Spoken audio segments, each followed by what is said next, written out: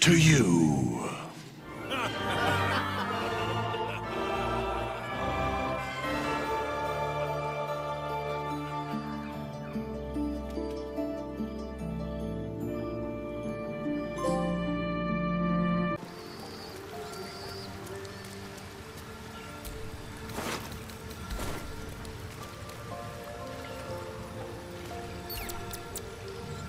It's about time Halsin actually stepped up and joined us properly.